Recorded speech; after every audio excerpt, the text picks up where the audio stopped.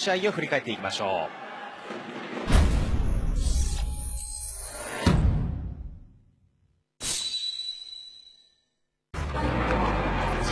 ファイターズの先発はプロ初登板初先発ドラフト2位ルーキーの金村翔馬立ち上がり先頭の辰巳を見逃しの三振。そしてフランコはこのスプリット。見事な立ち上がりを見せました。そして2回の金村です。バッター6番阿部。2回も三者凡退。そして3回です。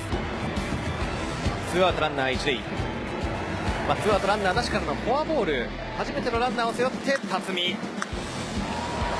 この初球だったんですけど、まあ、もったいなかったですけど、これも次にね、生かしていってほしいですよね。えーまあ、2日続けてこのフォアボールからの辰巳という失点になりましたね、ファイターズは。ねまあ、その辺りの隙をしっかりとついてくるイーグルス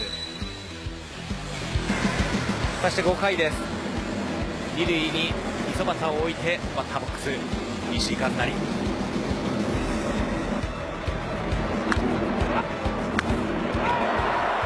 今シーズンの初ヒットがタイムリーヒットになりました。いやこれは石井にとって嬉しい一歩になりましたね。そうですね、チーム的にも大きかったですけど、やはりね、選手が出たら球場の雰囲気変わりますので、はい。たくさん本当出塁してほしいですね。そうですね。はい。さあそして6回です。金村。このフランコの当たりを同期のドラフト1位矢澤宏太いやー見事なライトの守備。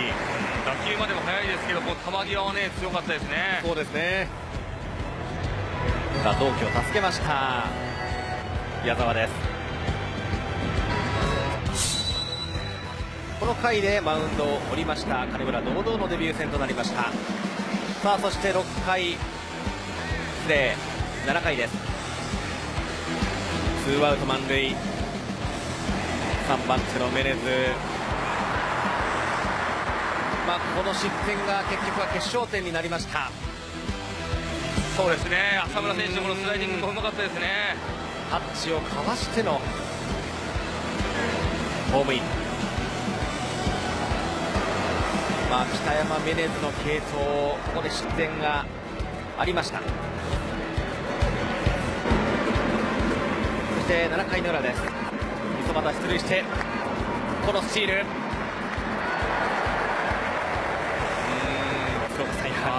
スピードは魅力です。もう素晴らしいですね。えー。さあそして一塁三塁で松本剛一番頼りになるバッター。このバッティングどうだったでしょうか？やはりこの打ち方とかもものすごく松本選手らしい技ありのバッティングなんですけど、え鈴木選手がしっかり低めにね、投げ切りましたね。朝の勝ちですね。がしっかりと投げ切りました。悔しそうな松本剛。そして9回の裏。マウンド上には守護神の松井裕樹。宇佐美粘ったんですが最後は頭にないボールでしたかね。ちょっと不意をつかれたでしょうね。えー。さあそして最後は代打万波。このいい当たりをサードの伊藤幸也1点が遠かったファイターズ。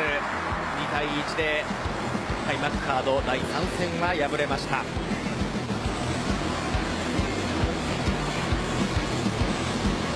そしてイーグルスの藤平が今シーズン初勝利を挙げています。